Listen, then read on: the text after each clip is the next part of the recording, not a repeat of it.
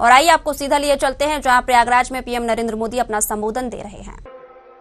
और यहाँ उपस्थित यूपी के सामर्थ्य को बढ़ाने वाले यहाँ के सामर्थ्य की प्रतीक मेरी माताएँ और बहनें, आप सबको मेरा सादर प्रणाम। माँ गंगा यमुना सरस्वती के पावन तट पे बसा प्रयागराज की धरती के हम शीश झुकाए के प्रणाम करत है। ई वो धरा है जहाँ धर्म, ज्ञान और न्याय की त्रिवेणी बहत तीर्थन के तीर्थ। प्रयाग राज में आए के हमेशा ही एक अलग ही पवित्रता और ऊर्जा का एहसास होता है। पिछले वर्ष फरवरी में हम कुंभ माँ पवित्र धरती पर आवा रहे तब संगम में डुबकी लगाए के अलौकिक आनंद के अनुभव प्राप्त किए रहे। तीर्थराज प्रयाग की ऐसी पावन भूमि को मैं हाथ जोड़कर प्रणाम करता हूँ।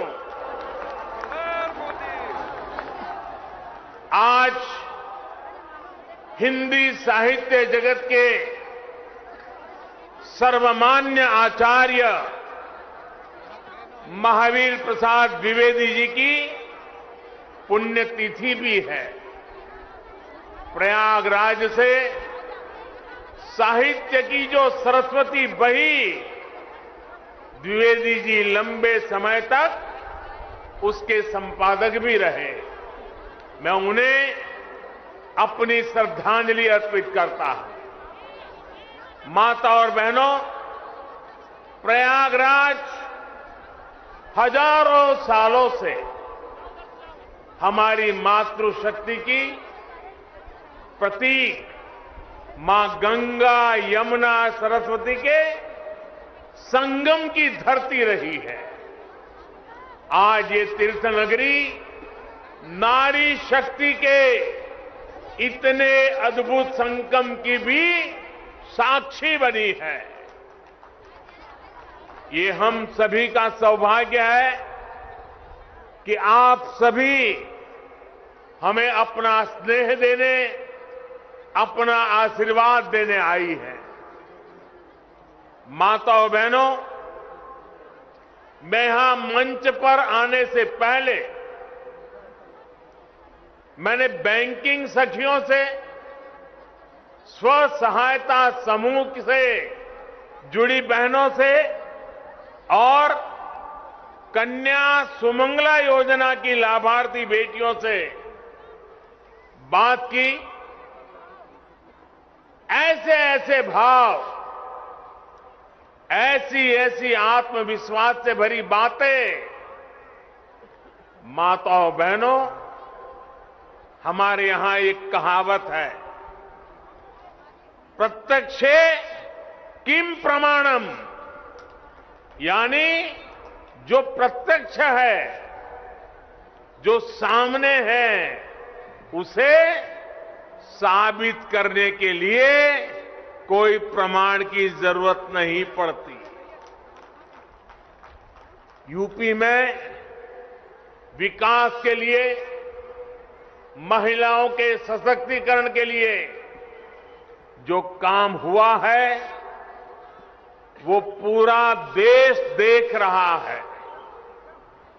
अभी यहाँ मुझे मुख्यमंत्री कन्या सुमंगला योजना की एक लाख से ज़्यादा लाभार्थी बेटियों के खातों में करोड़ों रुपए ट्रांसफ़र करने का सौभाग्य मिला। ये योजना गाँव गरीब के लिए बेटियों के लिए भरोसे का बहुत बड़ा माध्यम बन रही है। यूपी ने बैंक सठिकिया जो अभियान शुरू किया है, वो महिलाओं की रोज़गार के अवसरों के साथ ही उनके जीवन में भी बड़े बदलाव ला रही है। सरकार से अलग अलग योजनाओं का जो पैसा सीधे डायरेक्ट बेनिफिट ट्रांसफ़र डीबीटी के ज़रिए खाते में आता है, ये पैसा निकालने अब बैंक नहीं जाना पड़ता। बैंक सखी की मदद से ये पैसा गाँव में घर पर ही मिल जाया करता है। यानी बैंक सखी, बैंक को गाँव तक लेकर आ गई है। और जो लोग सोच रहे होंगे कि ये तो छोटा सा काम है, उन्हें मैं ये भी बताना चाहता हूँ कि बैंक सखियों का काम कितना बड़ा है। यूपी सरकार ने इन बैंक सखियों के ऊपर ऐसे करीब पचहत्तर हज़ार करोड़ के लेन देन की ज़िम्मेदारी सौंपी है। पचहत्तर हज़ार करोड़ रुपए का कारोबार, ये गाँव में रहने वाली मेरी बहनें, मेरी बेटियाँ कर रही है। जितना लेन देन गाँव में होगा, उतनी ही उनकी आमदनी भी होगी। इनमें से ज़्यादातर बैंक संख्या वो बहनें हैं कुछ समय पहले तक जिनके खुद के बैंक के खाते भी नहीं थे। लेकिन आज इन महिलाओं के हाथों में बैंकिंग की, डिजिटल बैंकिंग की ताकत आ गई है। इसलिए देश देख रहा है कि यूपी में कैसे काम हो रहा है। और तभी तो मैं कहता हूँ, प्रत्यक्षे किम प्रमाणम? माताओं बहनों, यूपी ने टेक होम राशन जच्चा बच्चा को दिए जाने वाले पोषण को तैयार करने की ज़िम्मेदारी भी महिलाओं के हाथों में सौंपी है। ये पोषण वाला राशन और आहार अब सेल्फ हेल्प ग्रुप में साथ मिलकर महिलाएँ खुद बनाएगी। ये भी बहुत बड़ा काम है। सालाना हज़ारों करोड़ रुपए का काम है। जिन दो, 202 पुष्टाहार उत्पादन यूनिट्स का आज शिलान्यास हुआ है उनसे सेल्फ हेल्प ग्रुप की महिलाओं की आमदनी भी होगी और गाँव के किसानों का भी बहुत बड़ा लाभ होगा। गाँव की महिलाएँ अपनी फैक्ट्री में पुष्टाहार बनाने के लिए फ़सल, अनाज गाँव से ही तो खरीदने वाली है।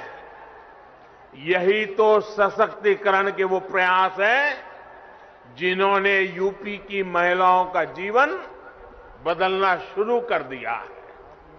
सरकार अलग अलग सेक्टर्स में स्वयं सहायता समूहों को, जो सहायता दे रही है इसकी एक किस्त के तौर पर आज मुझे एक हज़ार करोड़ रुपए ट्रांसफ़र करने का सौभाग्य मिला है। यूपी के विकास की धारा अब किसी के रोकने से रुकने वाली नहीं है।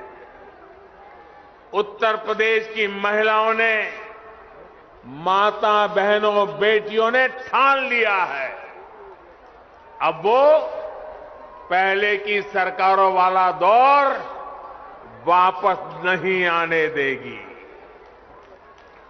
डबल इंजन की सरकार ने यूपी की महिलाओं को जो सुरक्षा दी है, जो सम्मान दिया है, उनकी गरिमा बढ़ाई है, वो अभूतपूर्व है।